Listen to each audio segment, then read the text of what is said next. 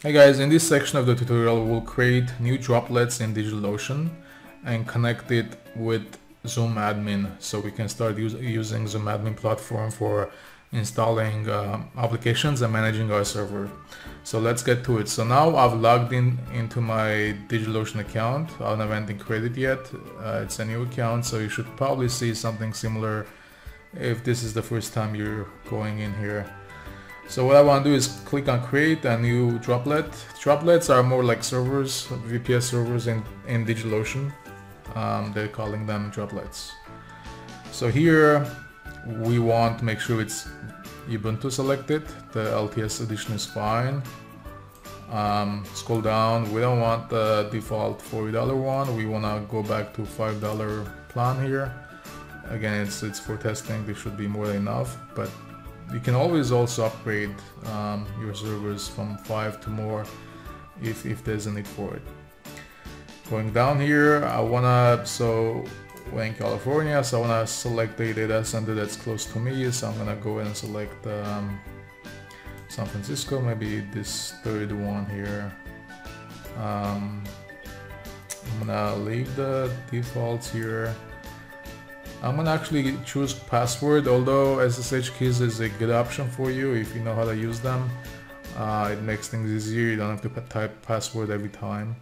But for this tutorial, we'll uh, make it easier and then just um, create a password here. So it says to create your root password, so I'll, I'll just type in something. Um,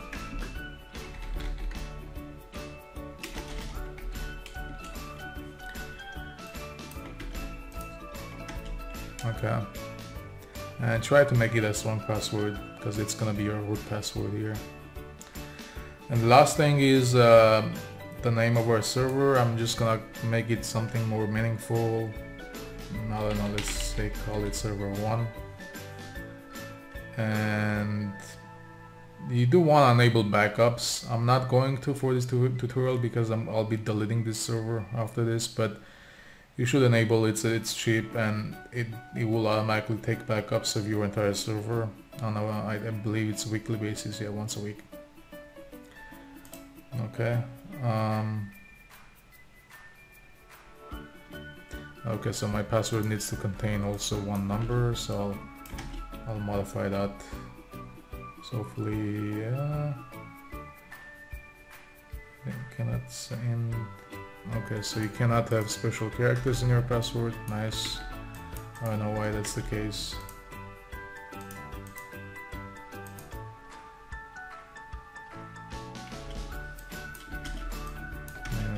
Okay, now relax it. So, so now now we have our good password here. Let's let's continue. Um, and you might want to also select monitoring here. I think it's free from them if you wanna use that. But for for me I'm just gonna leave everything else the default and click on create. Now this will take uh, a few seconds to create I think. Shouldn't take too long. Um, in the meantime uh, we're gonna go back to our Zoom admin and create a server there and then we'll actually connect this new server with Zoom admin Now when you first log into Zoom Admin first time and you have not created any apps, this you'll be presented with create an app screen here. Um, I'm actually gonna go ahead and create an app, right? So we know we want to create WordPress. I'm gonna select WordPress, but you can always browse more. We have all, you know, we keep adding more apps here, but for this case, I'm gonna select WordPress um, and then just name my app. I call it WP1 and just hit continue. So now it, it does have advanced settings, we'll go over it real quickly in next time, but it's gonna ask for a machine to select and we have not connected our machine yet, which is the server that we just created in, in, in DigitalOcean. So if you go back to machines here from the left, you know, I have a few here, but I'm gonna do a new connection, connect a new machine and this will give you kind of quick help here but I'm gonna name it the same thing I named in my DigitalOcean and click on continue Now this this will give you the exact steps to follow. Uh, um, and we will try to make this easier in the future. Maybe I'll automate this process for you by by you providing just the login info for the server. Basically what you need to do is SSH into your server and run this one line command so it, it connects with ZoomAdmin. Now to uh, SSH we, we actually give you the steps here we need to SSH into the server. So what you want to do is um, so open a new command prompt and again if you have your favorite SSH client you can feel free to use that but this comes there's a built-in client in Windows. I'm gonna show you um, how to do that using using that built-in client but feel free to use any any type of SSH client. Um, so to continue here, so we have to go back to our um, our uh, DigitalOcean and make sure that the server is created. So you can go here, you see that it's created and it's live, it's up. So everything's working, it's good. Now we need this IP address of the server. This is the public IP address. Okay. Uh, so we'll copy this and come back to our our uh, command line here but what I'm I'm gonna also do is just open a notepad just make things easier to copy paste. Uh, if you go back to your Zoom admin page here it'll, tell you that uh, you need to SSH here is an example. SSH root is the login and then the IP address. Okay so we have the IP address. If you copy paste this command we just have to replace this IP address here. And then we just need to run this command right copy paste and, and then hit run. It's gonna ask you to you know just say yes. First time. And then it's gonna ask you the password. Again this, this is the password you created earlier in DigitalOcean. Um, Sometimes copy paste doesn't work well, so you might want to right click here and do edit and paste. Just make sure that uh, you have the correct password. There you go, we're logged into our server here. Um, and we just have to copy our single line command from just from here. Just click on copy and come back here. We're gonna do the same thing, paste, and then hit enter. Okay. So this is gonna uh, do a few things. It's gonna you know install all the install an agent with in the server which basically connects with our platform allows you to start managing your applications in ZoomAdmin. Um, as you might know, Zoom Admin 2.0 is completely focused on container-based applications.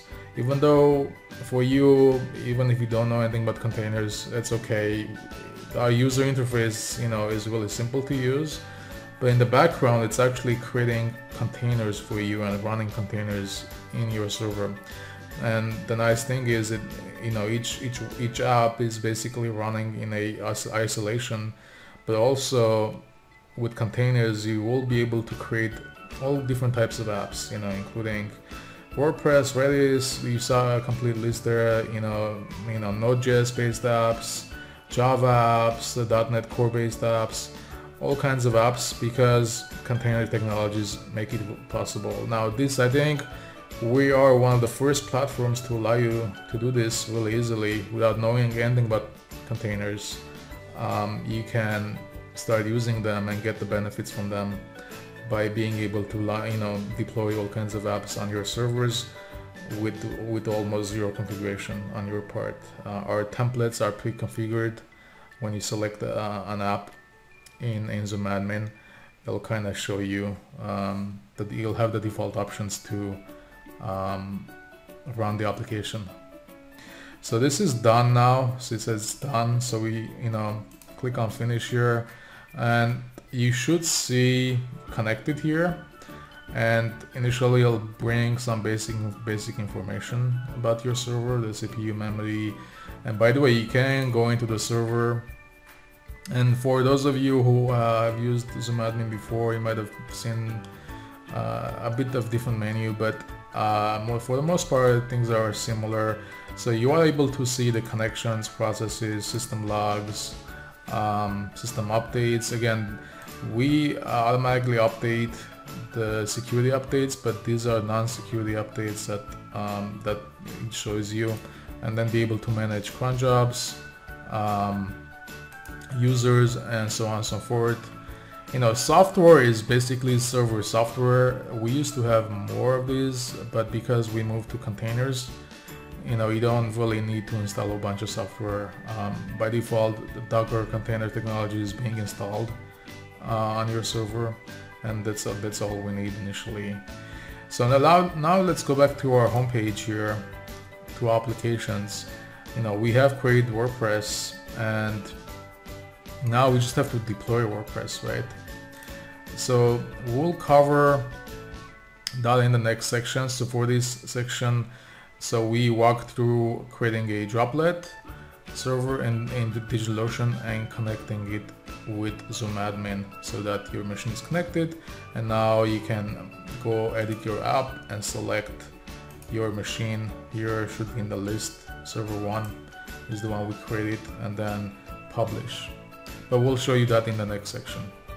Thanks for watching. Let's continue with the next section